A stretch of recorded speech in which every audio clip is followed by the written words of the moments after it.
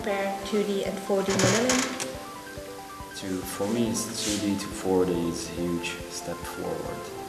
As we are planning construction, uh, we are having a huge schedule with over a thousand items, which is impossible to review.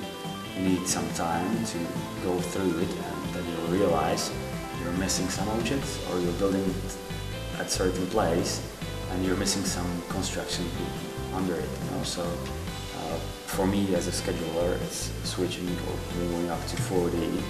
This is a great tool because we are seeing things live.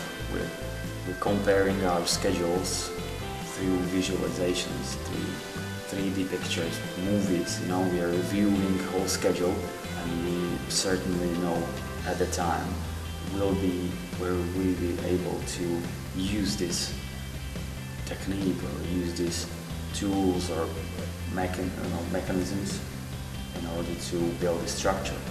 Will be there enough, you know, will be there enough place or space at that time, you know, because the, the construction is developing every day.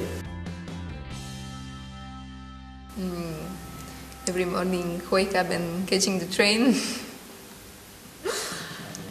but after all, I think it will be a good experience for me.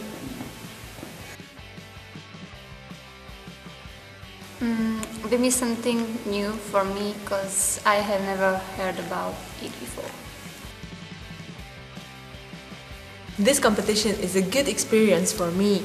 I have learned a lot of new information that is useful in the future for finding a new job. Because we want to win and then go to the USA. Um, yes, I do. There was a few presentations about BIM and other things about it. You heard about BIM? No? oh, thank you.